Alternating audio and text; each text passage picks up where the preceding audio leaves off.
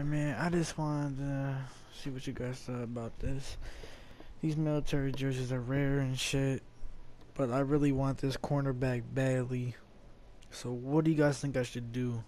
Player or or style? You know what I mean? Should I look fresh on the field? Or should I have a good ass fucking player, yo? I mean, I got these jerseys. But, um, Man. If I had that one player, my defense is really good.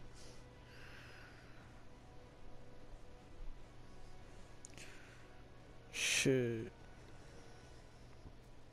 I'll be good on cornerbacks, but uh just wanted to make this quick video. What do you guys think I should do? Should I take the deal?